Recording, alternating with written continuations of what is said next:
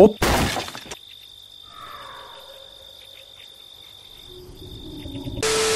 Opa! E aí pessoal, tudo bem? Aqui é o Peter e hoje eu tô aqui para mais um vídeo.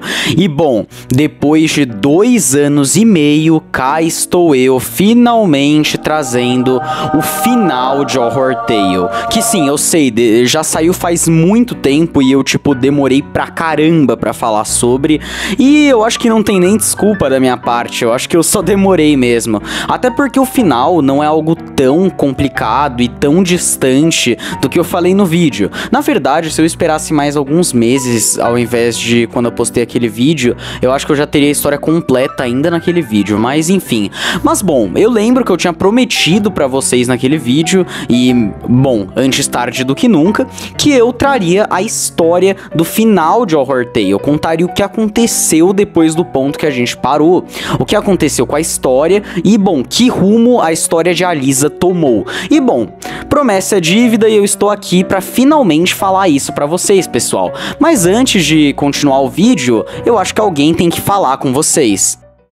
É sério que eu vou ter que fazer isso? tá bom. E aí, galera, como é que vocês estão? Bom, eu tô sendo escravi... digo, convidada pelo Void e pelo Peter para divulgar aqui um servidor bem bacaninha para vocês. Undertale New Home é pra você aí que não faz nada da vida e quer conhecer novas pessoas e fãs desse jogo que você gosta tanto. Lá tem um povo bem receptivo e animado, além de vários eventos, debates, jogos e muito mais que a staff preparou para todos vocês. Lá vocês podem conferir as aulas do povo, como Under Sims, Darkness Ashes e o meu lar muito infernal, Royal Tail. Bem, ele tá tendo muitas novidades, assim como tudo no servidor. Então é isso, conto com vocês e bora pro vídeo!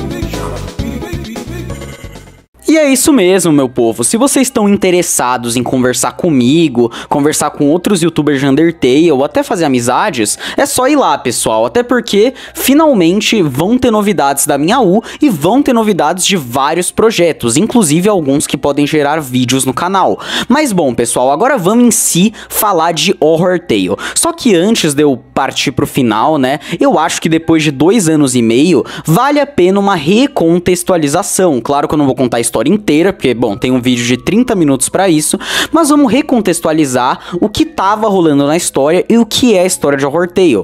Basicamente, a história de Horror Tale é uma história em que a Undyne acaba assumindo o trono do subterrâneo após Frisk matar Esgor e também matar parcialmente o subterrâneo e deixar ele meio decadente. Logo, a Undyne toma decisões imprudentes, que eu não vou entrar em muitos detalhes, que acabam fazendo o universo de Horror Tale, né, ou de Undertale na época, perder a força do core, fazer ele parar de funcionar, gerando uma insanidade nos monstros que agora não tinham mais magia e, consequentemente, gerando uma crise lá embaixo. O Sans e a Undyne no começo compactuavam para tentar fazer um futuro melhor depois disso, só que eles acabam se desentendendo, o Sans fica insano e ele começa a instaurar uma política em Snowden de que se os humanos não têm mais magia para gerar comida mágica, eles teriam que se alimentar da carne dos humanos que caíssem no subsolo. Logo a gente vê a história de Alisa, que cai no subsolo e vai para Snowden, um lugar em que o Sans instituiu que os humanos deveriam ser canibalizados. Ou não, né? Porque, bom, os monstros não são humanos. Mas o ponto é que a Alisa chega lá e ela vai passando pelos puzzles do Sans e do Papyrus. E com o tempo, o povo começa a meio que gostar dela, simpatizar com ela, ao ponto de que até defendem ela quando a Undyne tenta chegar lá e meio que levar a Lisa deles quando ela meio que tá disfarçada pra Undyne não saber que ela é uma humana. O povo até defende ela. E depois disso, a Alisa recebe uma proposta de provavelmente é um último puzzle, em que ela poderia ou fazer do jeito do Sans, que prometeu que se ela passasse, ela não só passaria com vida, mas também poderia ser livre do subsolo, ou o puzzle do Papyrus, que ela diz que não, que ele diz que não iria libertar ela, contudo, poderia sim fazê-la muito feliz. Se ela vencesse, ela poderia ser feliz com os monstros ali embaixo. E bom, por votação acabaram escolhendo escolhendo o puzzle do Papyrus, né? E a Alisa basicamente fez isso. Em que é um puzzle em que ela basicamente passou por um desafio de sobrevivência na casa do Papyrus e quase morreu para ele que queria devorar ela quando ela começou a ficar muito suada. Só que ela acabou conseguindo abater o Papyrus e bom, o Papyrus ficou inconsciente e ela conseguiu enfim vencer o puzzle.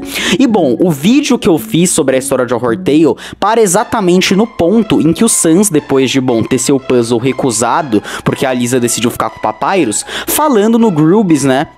Por que, que o, as pessoas gostam tanto dele. Parece que depois do que aconteceu, ele ficou meio que numa crise e começou a se perguntar qual era o valor de tudo, por que, que eles continuavam vivos, por que, que a, eles continuavam. Ele falava isso com os seus amigos, né, com os monstros do Grubes, que vinham contar para ele o estado do Papyrus e ele parecia nem se importar mais. E basicamente o Sans diz que nada vale a pena, mas bom, os monstros acabam confrontando um pouco ele. Por exemplo, uma esposa, né, a Dogaressa. Ela questiona ele, dizendo que o Dogami, o marido dela, morreu por essa causa. Ele morreu pelo bem de todos e eles não poderiam desistir naquele ponto. Só que o Sans parece começar a adotar uma visão meio nilista de tudo. Ele começa a desacreditar de tudo após isso. E bom, parece que as coisas só vão de mal a pior. Agora, voltando pra Alisa, depois de vencer o puzzle do Papyrus, ela parecia muito brava com o Flowey por ter levado ela para essa situação deprimente. Mas logo Flowey diz, né, que não, que na verdade ele ajudou ela a sobreviver, ele ajudou ela a camuflar o próprio cheiro para não acabar perdendo pro Papyrus. Inclusive, ela e o Flowey veem um forno que era basicamente o destino dela se ela perdesse o puzzle. Ela iria ser literalmente cozinhada pelo Papyrus E ele diz que, bom, apesar de tudo é comer ou ser comido, mas ele ajudou ela e ela deveria ser grata a ele.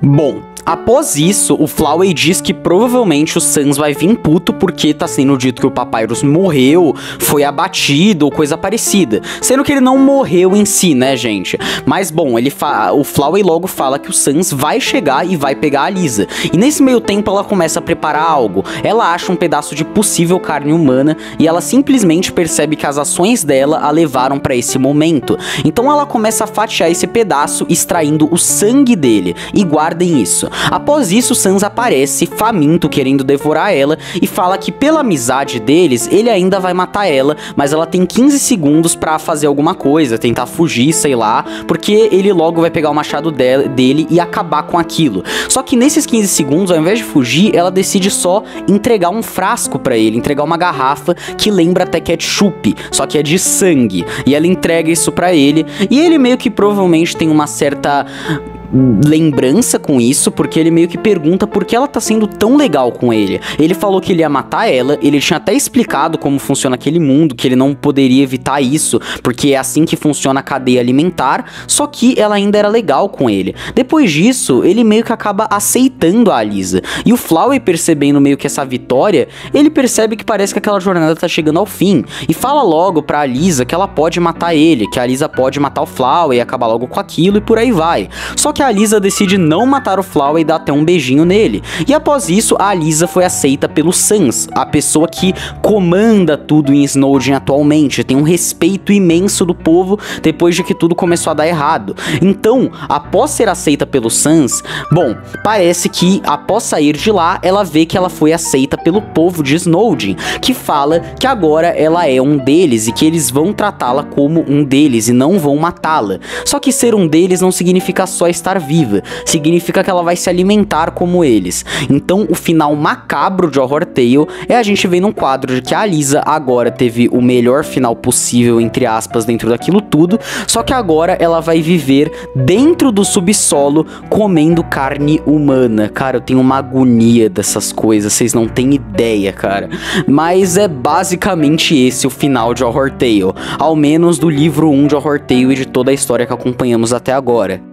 E bom, pessoal, é basicamente isso. É, sim, eu falei livro 1 porque o Horteio, após o fim, né, desse livro, digamos assim, dessa rota, a, a autora da AU, né, tá basicamente criando outra rota de Horteio, outra perspectiva da história, basicamente recomeçando a mesma, tá ligado? E basicamente ela vai dar uma outra perspectiva, uma outra linha de continuidade para a história e que pode com certeza ter um final diferente do que foi esse. E bom, quando ela progredir mais e por aí vai, eu pretendo até trazer. Mas por enquanto só tem 15 páginas, então acho que não rende um vídeo. E não teve nada tão interessante assim. Mas bom, pessoal, é basicamente esse o vídeo. Eu sei que o Horror Tale é uma parada macabra, acho que até a thumb desse vídeo chega a ser um negócio meio macabro vendo agora. Mas eu espero que tenham gostado dentro do possível. E bom, eu espero vocês no próximo vídeo. E eu espero que, bom, eu consiga pelo menos almoçar enquanto eu assisto da próxima vez.